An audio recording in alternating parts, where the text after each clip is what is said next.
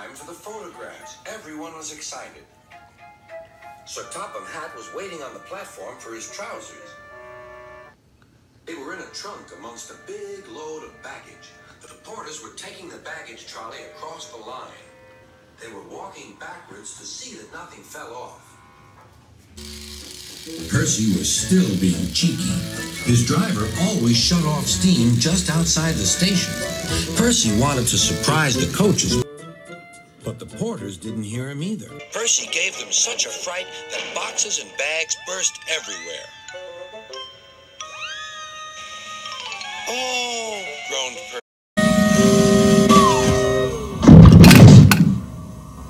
Streams of jam trickled down Percy's face. A top hat hung on his lamp iron.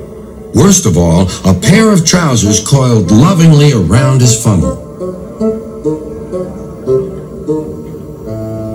Everyone was very angry. Sir Topham Hatt seized the top hat. Mine, he said.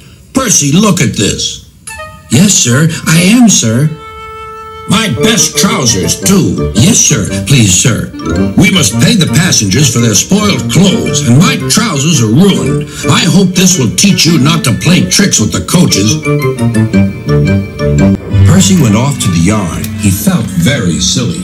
On the way, he met James.